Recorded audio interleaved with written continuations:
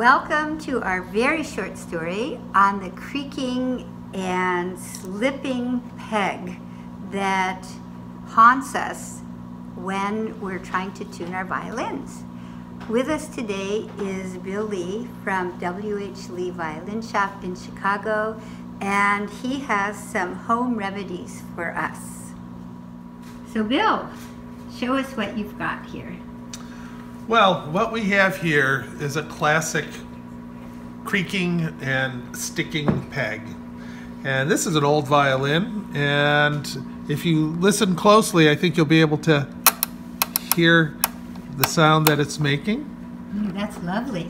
Oh, and it's sticking. Oh, oh yeah. better. Oh, Yeah. nice. So that what this requires is a lubricant. So the thing that we recommend as a lubricant is uh, the Hill peg compound. That is what will will make it turn more smoothly. We take that and we put it around where the um, peg box, the hole in the peg box, meets the peg.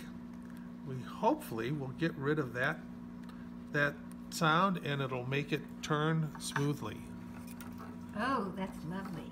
See? There you go. Now, what about the slipping peg?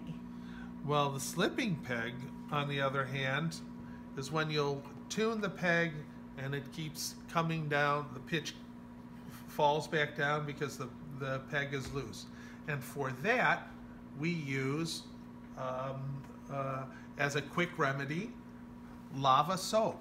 Lava soap is a, a soap you can buy at uh, pharmacies or Home Depot, and it's a, actually a soap with a little bit of very, very fine pumice in it. And that can be put around on those those rings that touch the the uh, uh, the peg where the peg touches the inside of the peg hole, and that will help give you a little bit of bite and hold that peg tight.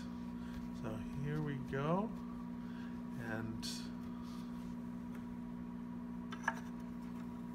So, do we need to find an active volcano for this? uh, no, it's all provided by the manufacturers of lava soap. Thank you so much.